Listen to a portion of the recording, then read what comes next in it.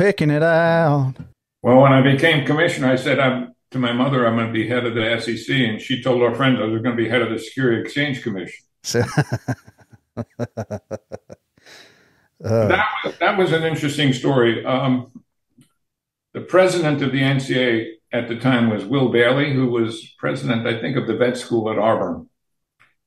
And he called me up and he said, I'd like you to interview to be the commissioner of the Southeastern Conference.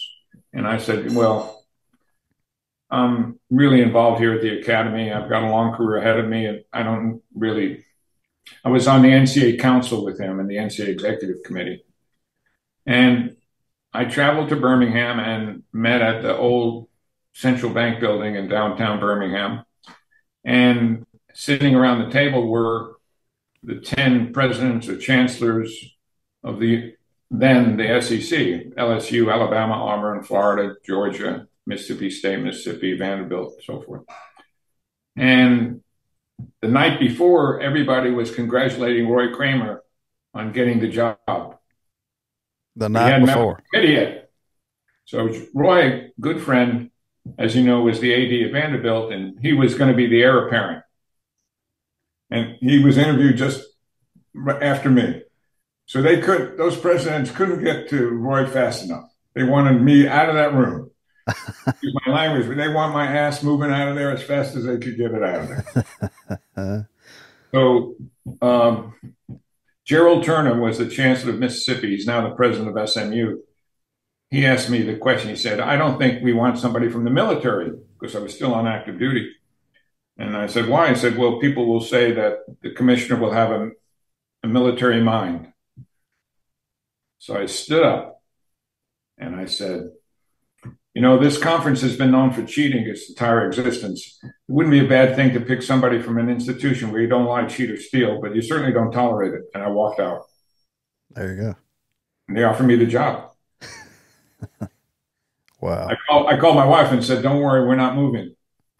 And uh, they want they um, Turner and uh, Wyatt, the president of Vanderbilt, came out to visit my family, and on the way to have lunch with them, I pulled my son Derek. You may know he's with the Braves, and um, he was 14 at the time. I said, They're going to ask you the schools in the Southeastern Conference.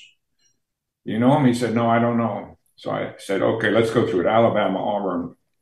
We go into the restaurant, and Turner turns to Derek and says, You know the schools in the Southeastern Conference? And Derek says, My dad told me on the way over here, but I can't remember.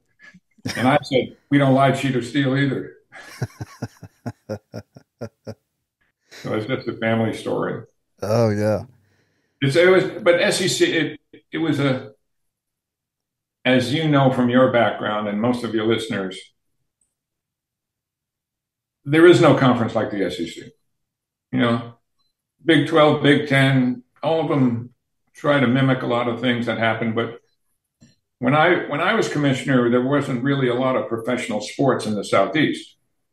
You know, right. like there wasn't an NBA in North Carolina. There wasn't, you know, and even to this day, Alabama, there wasn't a professional team in Tennessee, but certainly not Mississippi. There were only one or two in Florida. So it was all about college sports. Yeah. And everybody knew everything. Everybody knew every recruit. You know, they'd have recruiting parties. They every and it was before a cell phone, so people were in pay booths talking to each other. You know, mm-hmm. it, was just, it was just every territory was a little bit different. You knew you were in Louisiana. You knew you were in Mississippi. You knew you were in Florida. You knew you were in Alabama. You knew you were in Georgia. And uh, it was just, you were treated in a way when you were the commissioner special. Now, I know the commissioners of all of the professional leagues, they're all friends. They don't get treated the way the SEC commissioner gets treated. Mm. People, people love the commissioner because it's part of their everyday life. And, you know, um, one day, I was going to a game at Tuscaloosa when they already had their new stadium. I was going about 80 miles an hour to get there. And I got stopped by an Alabama trooper and he started to fill out summons, giving me a ticket. And he got to the part where it said occupation. And I said, Commissioner. He said, Commissioner what? I said, the Southeastern Conference.